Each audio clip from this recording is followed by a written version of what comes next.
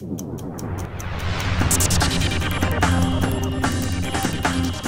This safelet is like wearing a guardian angel on your wrist. The simple cuff pairs with your smartphone so you can add friends and family into your safety network. If you need help, click the two buttons on the side and your contacts and the police are immediately notified of your location.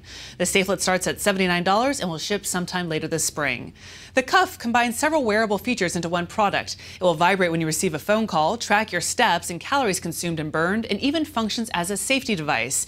When you get into trouble, press the cuff and it will alert your friends and family of your location. It will also send them audio from the scene. The cuff jewelry packages can be pre-ordered starting at $49 and will ship sometime later this summer.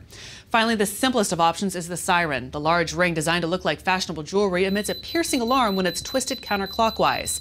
The wearer can decide how long the alarm should ring, but can manually turn it off when needed. The ring should be charged every couple of weeks and starts at $200. In San Francisco, I'm Kara Tsuboi, CNET.com for CBS News.